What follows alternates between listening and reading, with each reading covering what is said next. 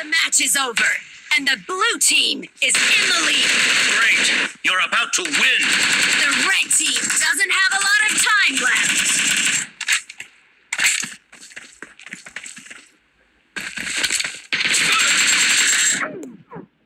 Yeah.